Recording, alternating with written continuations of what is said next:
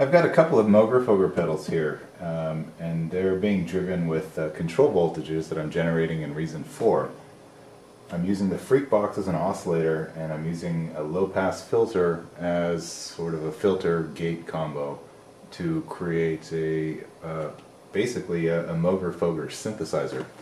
This is uh, all being driven from uh, from this Novation controller and it's sending USB MIDI into Reason and in, in Reason it's getting converted from uh, MIDI data to audio data which is being sent out of the uh, Motu interface back into the Moogerfoogers.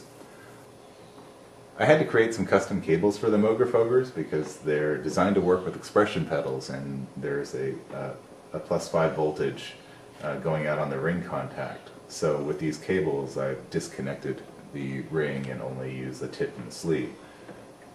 That way I don't get a uh, voltage going back to the Motu.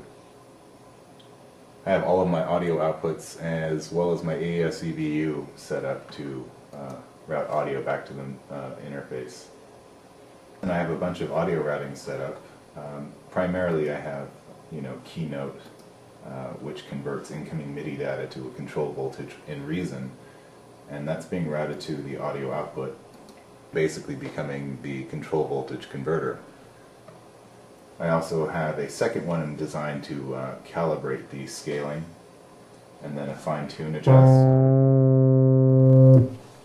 There's no VCA section in this setup, so I'm basically using the filter cutoff as my uh, amplifier gate section. And then I'm using the envelope generators in Thor to uh, control the filter cutoff on audio out 3 over here I've got the mod wheel um, routed to audio out 4 which is going to control the waveform.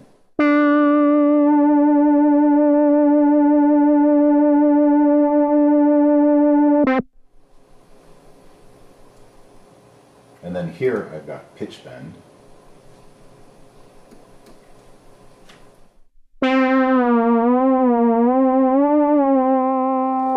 So I have the LFO routed to the uh, control voltage modulating the Moogerfooger frequency here on the oscillator, and that's being controlled by Aftertouch.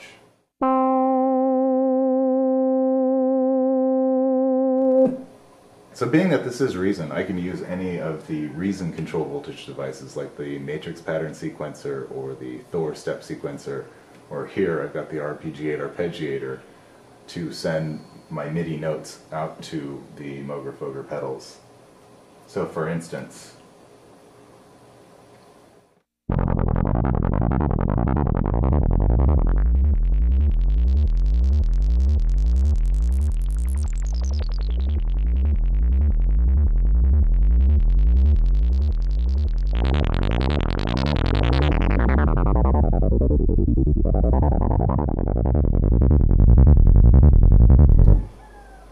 And naturally I can record a MIDI sequence into Reason and have that drive the Moogerfooger uh, synth configuration here.